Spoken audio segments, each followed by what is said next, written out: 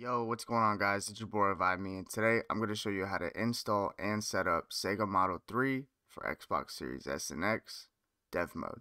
For this, all you will need is the Sega Model 3 powered by Supermodel version 1.0.0.1 and also you will need this one dependency file for it as well. You can find both these files within the Dev Mode apps thread in my Discord server or you can look at the GitHub links down below as well. Before we fully get into this, I want to give a shout out to Aerisarn. He's the one for the UWP port and his development with the Mesa UWP. Keep up the great work, bro. Killing it, and I can't wait to see what you have in store for the future.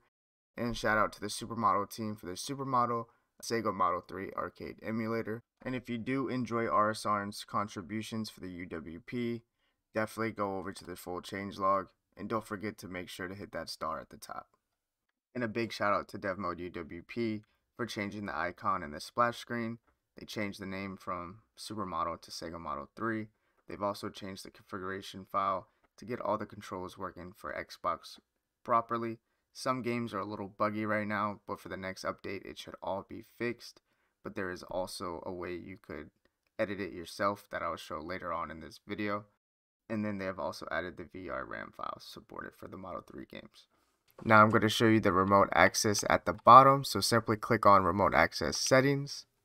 And what we're going to do is enable the Xbox dev portal.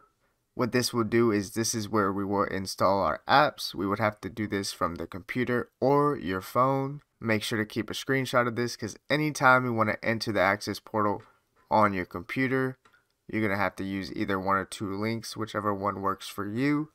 And then at the bottom, there's the authentication where you can set a password and username. Me personally, I just keep this unchecked. It's just a little easier to get onto the page without having to enter your information every time. And then what we're going to do is we're going to leave our Xbox on this page. I bet. So what we're going to do is switch over to the PC. We're going to enter in one of the links for the access portal.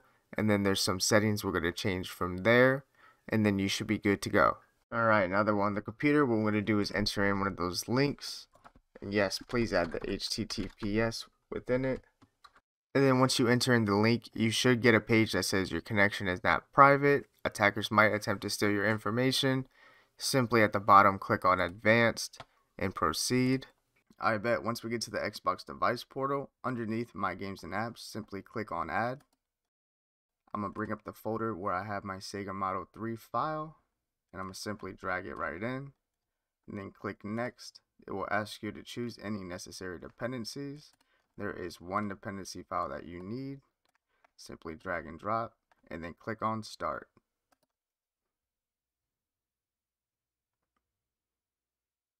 I bet once that's finished, you just successfully installed Sega Model 3 on your Xbox. And now what we're going to do is start getting our games set up so they work properly. Alright bet, so for this app, all you would really need is your games to be in .zip format and that's pretty much about it. So on your USB, inside your games folder, just create a Sega Model 3 folder. Simply drag all the games you have into it and make sure that they're in .zip or else they won't work. And then once you got that all ready, what we're going to do is plug in the USB to our Xbox and we're going to load up Sega Model 3. Alright, bet. So before you actually open the app, what you want to do is press the select button on it, head over to view details, and make sure to change it from an app to a game. Unless you have that set by default then you should be good to go. And then all we're going to do is simply open up the app. Alright once it opens up you'll see a screen like this. It is the file explorer. There's currently no menu so all you would have to do is simply look for your games folder. Go to your Sega Model 3 games folder and then just select your game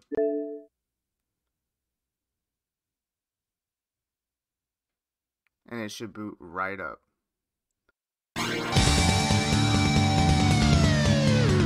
Select the race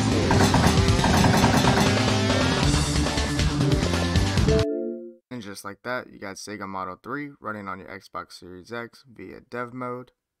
And that's pretty much about it. Now I'm going to show you how you could go into the supermodel.ini config file so that you could also change it to widescreen or if you wanted to change any of the controls for the games, you could do that as well. And all we would have to do is go into the dev mode portal, same thing as we did when we installed the app. So we're going to go there right now. Alright, bet now that we're back at the Xbox device portal, all you need to do is on the left side, click on File Explorer, go to Development Files, head down to Windows Apps, and then scroll down to the S's until you find Sega Model 3. Go to the Config folder, and then now you should see the supermodel.ini. All you would have to do is on this side right here, click on Save you might get an unverified download blocked, but that's fine. Just click on it and go to download unverified file. And then now you would do is just go over to where that file is installed on your computer. Right click on it, go to edit in notepad.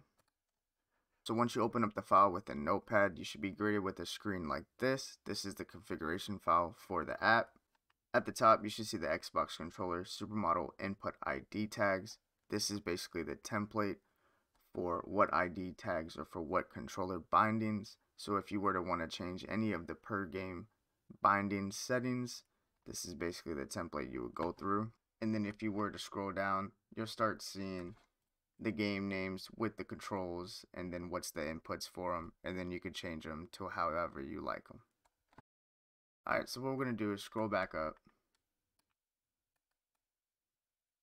Now if you scroll down a little bit, you should see global on the bottom left. Graphics, new 3D engine, quad rendering, widescreen, stretch, and so on. All I'm going to do is change the false on widescreen. I'm going to highlight it and then just type in true. And then I'm to go up to the top and click on file and click save. And then just like that, I have enabled widescreen in my INI file. And now all we got to do is go back to the dev portal, delete our old one, and then upload the new one. So let's do it right now. We're back in the portal, supermodel.ini. On the right side, go to delete, click OK. Now I'm going to go to choose file, click on the supermodel.ini, go to open, and then all you got to do is simply click on upload. And then now what we're going to do is the supermodel.ini file that is in the portal. We're just going to simply delete it. And now we're going to go to choose file. And then we're going to select our supermodel.ini that we edited. And then we're going to click on upload. And then once you do that, we're going to head back to the Xbox and make sure that our games are loaded in widescreen. And then we should be done. Alright, now that we're back on the Xbox, we're going to make sure that our widescreen is working. So simply look for your game and let's load right into it.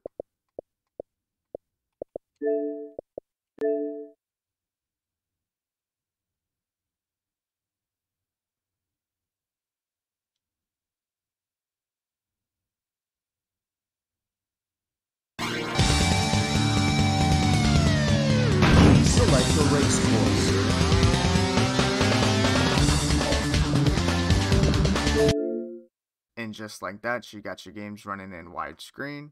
You learn how to save and edit the INI file itself if you ever wanted to make any additional changes. And you got the app running properly. I hope this video helped. If it did, please leave a like. Let me know in the comments if you need any additional help. I hope you guys have a great day.